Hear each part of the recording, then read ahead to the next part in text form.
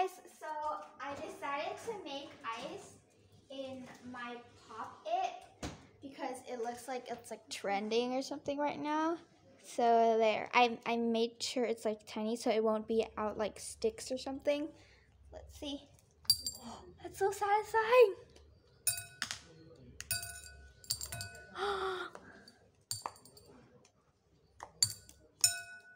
I'm so glad it's not like sticks like the other um, TikTokers or like YouTubers do it because I don't like it when it comes out like sticks. This is more satisfying. You can like press it.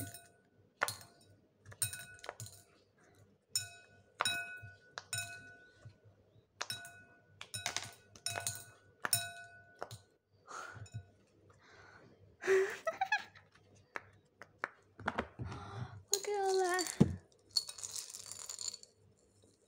It's like it's like kind of like it's like sizzling kind of.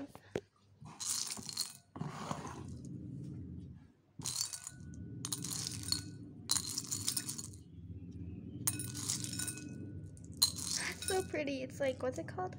M&M's or something. That's it's called. oh, lighting.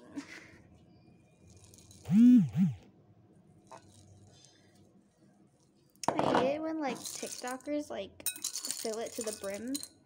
Like it comes out like sticks, but these like comes out like really nice circles. So, bye.